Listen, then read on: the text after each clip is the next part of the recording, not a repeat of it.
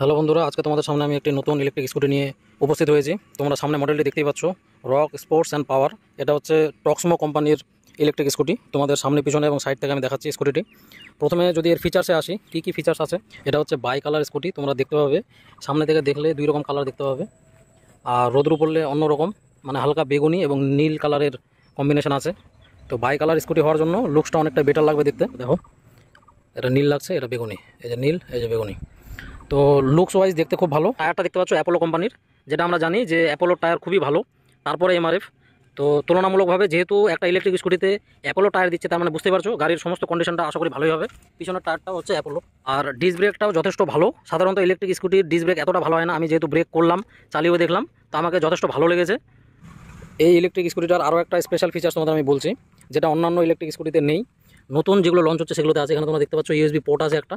মানে এটার মাধ্যমে আমরা মোবাইল চার্জ করতে পারব। তো চার্জ করে রাখব কোথায়? তার জন্য এই যে দেখতে পাচ্ছ, এই ছোট্ট বক্সটা দেওয়া হয়েছে। এখানে মোবাইলটা রেখে আমরা খুব ইজিলি চার্জ করতে পারব। তো এরকম ফিচার সব ইলেকট্রিক স্কুটিতে থাকে না। এই যে তোমরা দেখতে পাচ্ছ, এখানে আপার অ্যান্ড লোয়ার ইন্ডিকেটার একটু আলাদা রকম সুইচ দেওয়া হয়েছে। আর এটা হচ্ছে সাইড ইন্ডিকেটার লেফট আর রাইট এখানে তোমরা দেখতে পাচ্ছ, এই সুইচটা টিপলে এটা হচ্ছে হর্নের কাজ করবে। আর এটা হচ্ছে রিভার্সে যাওয়ার জন্য। দুটো আয়না দেওয়া আছে, যথেষ্ট বড়। আর ডান হাতে তোমরা দেখতে পাচ্ছ, এখানে পাওয়ার ওয়ান টু থ্রি মানে তিনটা হচ্ছে গিয়ার শিফটের অপশন দেওয়া আছে, এটারও সুইচটা একই রকম, এটার মতোই। তো এখানে তোমরা একে কারা চালাবে, যাদের ভয় একটু বেশি বা স্পিডে যেতে চায় না, তাদের জন্য এক।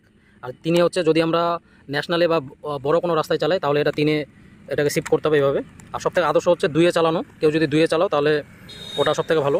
আর এখানে তোমরা দেখতে পাচ্ছ লাইটের সুইচ এটা এটা অফ করা আছে। এখানে নিচে তোমরা দেখতে পাচ্ছ, এটা সেটিংসের অপশন এটা হচ্ছে, যদি পার্কিং অপশন আমরা অন করতে চাই মানে তাহলে এই সুইচটা টিপতে হবে। আর পার্কিং যতক্ষণ পর্যন্ত অন করা থাকবে, ততক্ষণ পর্যন্ত এই যে দেখতে পাচ্ছ ওটা দেওয়ার পরে পি অপশনটা অন হয়ে গেল। তাহলে এটা আর কোথাও মুভমেন্ট হবে না। আর আবার এখানে পিটা যদি চাপা হয়, তাহলে দেখো এই সুইচটা দিলে অটোমেটিক জিরো জিরো হয়ে গেল মানে এখন রেডি টু গো আমরা যে কোথাও যেতে পারি। তো এখানে তোমরা দেখতেই পাচ্ছ, দ্বিতীয় গিয়ারে এটা শিফট করা আছে অলরেডি মানে সবসময় দ্বিতীয় গিয়ারে চালানো হয়। আর এখানে যে মিটারে তোমরা দেখতে পাচ্ছ, শুধু কত কিলোমিটার গেছে সেটা উঠছে। জিরো জিরো যেহেতু থেমে আছে গিয়ার দেখাচ্ছে, আর কত পার্সেন্ট ব্যাটারি আছে ফুল চার্জ করা আছে, সেটা দেখাচ্ছে। তো এটার সম্পর্কে মানে দাম কত, সমস্ত কিছু তোমাদের আমি বলব। তোমরা শেষ অবধি দেখতে থাকো। তার আগে আমরা চাবিটা যদি দেখে নিই। চাবির সঙ্গে কী কী আছে এখানে দেখতে পাচ্ছ? তিনটা সুইচ দেওয়া আছে। এটা হচ্ছে লক এটা আনলক এটা হচ্ছে অন করার। এবার আমরা দেখে নেব, এর সিটের নিচে কতখানি জায়গা আছে। প্রথমে এটাকে অন করলাম, এই যে দেখো। এখানে তোমাদের বিল আর কার্ডটা দেখাচ্ছে। এই যে সিট কভারটা দেওয়া হয়েছে, এটা কিন্তু গাড়ির সঙ্গে দেওয়া হবে না। এটা আলাদা করে কিনতে হয়েছে। আর এখানে এই যে পাদানিটা তোমরা দেখতে পাচ্ছ ফুট রেস্টটা তো এই ফুট রেস্টটা আলাদা করে কিনতে হয়েছে। এই যে সঙ্গে কার্ডটা দেওয়া হয়েছে, তোমাদের আমি কার্ডটা দেখাই। এটা হচ্ছে টক্সমো ইলেকট্রিক মোটরস। এখানে চেসিস নাম্বার দেওয়া আছে, মোটর নাম্বার দেওয়া আছে, আর কবে কেনা হয়েছিল সেটা। এটা হচ্ছে একটা আই কার্ডের মতো। কোথাও যদি পুলিশ ধরে, তাহলে এই কার্ডটা দেখালেই হয়ে যাবে। আর কোনো কিছু লাগবে না। আর এখানে লেখা আছে, no registration and no licence যেহেতু এটা low speed bike electric bike কোনো ধরনের নাম্বার প্লেট নেই। যদি এটা আশি বা নব্বই স্পিডে যেত, তাহলে কিন্তু নাম্বার প্লেট লাগতো। কিন্তু এখানে তোমাদের সর্বাধিক স্পিড পঁচিশ দেখাবে। আর কিন্তু যাবে পঁয়তাল্লিশ অবধি। যাই হোক, এটা করাই আছে সেটিংসটা ওভাবে। কবে কেনা হয়েছে সেটা তোমাদের দেখালাম। এই কার্ডটা সঙ্গে রাখলে হয়ে যাবে। আর কোথা থেকে নেওয়া হয়েছে তোমরা কোথায় পাবে দেখতে পাচ্ছ।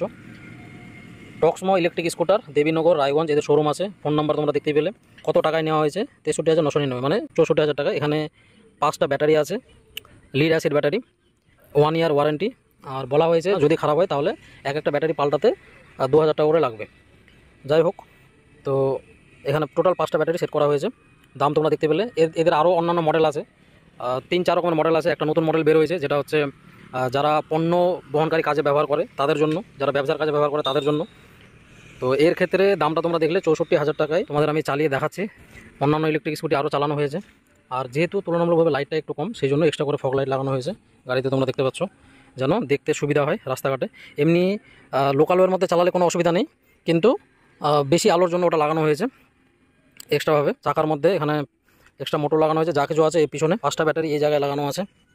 এখন তোমাদের একটা টেস্ট ড্রাইভ দিয়ে আমি তোমাদের দেখাচ্ছি, কতটা স্মুথ ইলেকট্রিক স্কুটিটা তোমরা দেখতেই পাচ্ছ, পঁচিশ অব্দি স্পিড দেখাচ্ছে, কিন্তু এটা অ্যাকচুয়ালি পঁয়তাল্লিশ অব্দি যাবে। তোমরা স্পিডটা দেখে একটা আইডিয়া করতে পারছ, দেখো। এটা এইভাবে সিস্টেমটা করাই আছে, যেহেতু বেশি বাড়াতে গেলে মানে পঁয়তাল্লিশ এখানে দেখালে আবার রোড ট্যাক্স লাগবে আর বিভিন্ন ধরনের পিছনে নাম্বার প্লেট লাগবে, সেই জন্য এটা পঁচিশ অব্দি করা আছে। এটা সেটিংস করা আছে আর কি কোম্পানি থেকে। এটার স্পিড বাড়ায় না কেন, এটা সর্বাধিক পঁচিশ অব্দি দেখাবে। খুবই স্মুথ লাগছে গাড়িটা। অন্যান্য ইলেকট্রিক স্কুটির তুলনায়। সাইজেও খুব ছোট। পুরোপুরি সাউন্ডলেস কোনো ধরনের আওয়াজ হচ্ছে না এক্সট্রা কোনো আওয়াজ বা নয়েজ দেখা যাচ্ছে না এই স্কুটিটার মধ্যে। এবার আসি এই গাড়িটা ফুল চার্জ করতে, কত সময় লাগে? সাধারণত যেহেতু গ্রীষ্মকালে বেশি পরিমাণে ফ্যান আলো বা এসি চলে, যার জন্য সময়টা একটু বেশিক্ষণ সময় নেবে। ফুল চার্জ হতে প্রায় দশ থেকে এগারো ঘণ্টা। আর শীতকালেই সেটা অনেকটা সময় কম নেবে, প্রায় সাত থেকে আট ঘণ্টা। তো তোমরা বুঝতেই পারছ কী কারণে এটা হয়।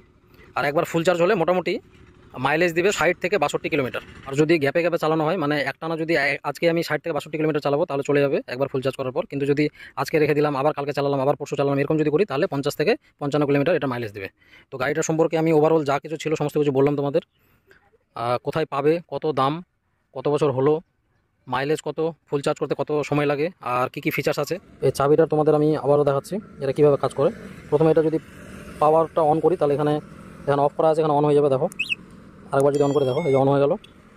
এবার আমি না চাইলে শুধু চালালেই চলে যাবে, শুধু পি অপশনটা এখানে আমাকে টাচ করে পি অপশন চলে গেল মানে পার্কিং অপশনটা এখন রেডি টু গো তো আমি চাবি না লাগিয়েও কিন্তু এভাবেও যেতে পারি, আর এটা যদি আনলক করি, এই যে দেখো, তাহলে সঙ্গে সঙ্গে এটা চলে যাবে।